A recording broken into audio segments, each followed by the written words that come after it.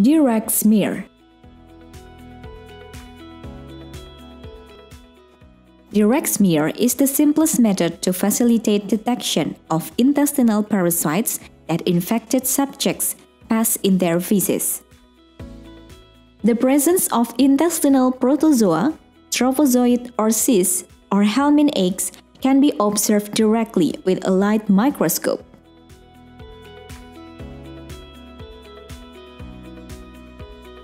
Materials and samples. Materials required. Wooden applicator sticks or match. Object glass. Cover slip.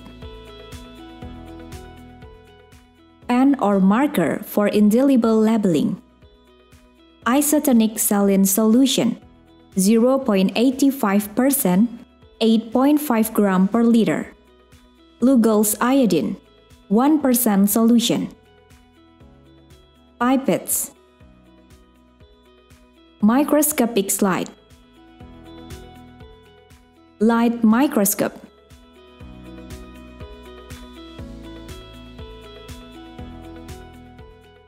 Samples. Fresh stool.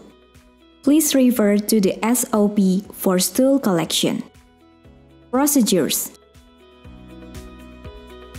First, place a drop of saline on the center of the left half of the slide and a drop of Lugol solution on the center of the right half of the slide on a microscopic slide, which has been labeled with an ID number.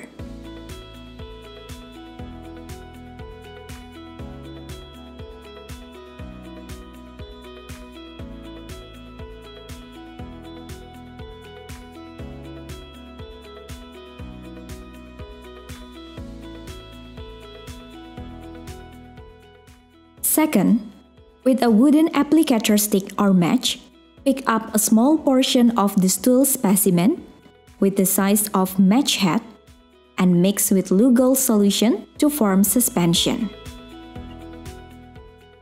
Third, similarly, pick up a small portion of the stool specimen and mix with a drop of saline to form suspension. Fourth, Cover each drop with a cover slip by holding the cover slip at an angle.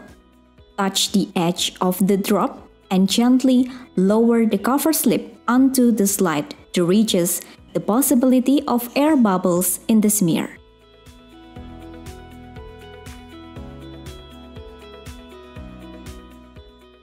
Fifth, put the slide under a light microscope with 10 times objective. Examine the entire cover slip area by moving the slide systematically backwards and forwards, or up and down. Sixth, switch to 40 times objective lenses when suspected parasites are seen.